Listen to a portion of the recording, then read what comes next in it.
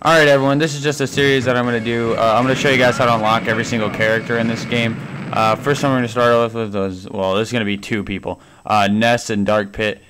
Uh, I'll just tell you to do Ness because it's pretty easy. If you play through uh, and beat classic mode on any difficulty one time, you're gonna you're gonna fight Ness. So that's easy to unlock him. Um, Dark Pit, it's three people. You gotta complete classic mode with three people and then you get him. It took me a while to get him because I kept losing. Like if you've seen my uh, last video about classic mode, I lost.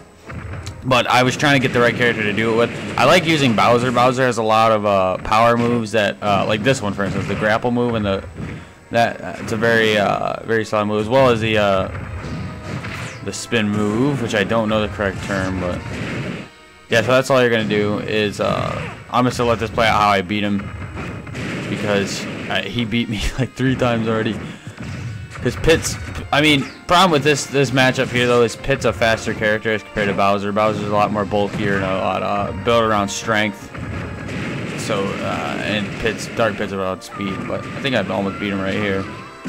But I'm gonna let this play out. That's how you get Dark Pit. Uh, what is it? Beat classic mode with three different characters on. It can be any difficulty too that, that doesn't really matter. But all right, I'll see you guys next time.